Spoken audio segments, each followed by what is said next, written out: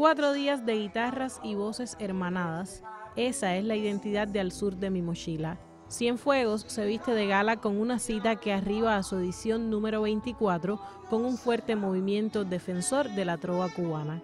Dedicado a la figura de Lázaro García a un año de su desaparición física, el evento tiene entre sus potencialidades dedicar espacios a los más jóvenes cantautores de varias provincias del país. Quizás la esencia espiritual de este evento es Lázaro García, que estuvo eh, siempre pegado a la asociación desde, el primer momento, apoyándonos. Eh, eh, fue miembro de honor de, de la asociación. Es mi segunda vez en el festival y bueno, agradecido con la Asociación Hermanos ahí de Sinfo de haberme invitado nuevamente acá. Esta es la primera vez en el festival Al Sur de mi Mochila y estoy muy encantada de que me hayan invitado, de que hayan pensado en mí, porque es un momento sobre todo para compartir, para compartir canciones y traer canciones de Santa Clara para Cienfuegos.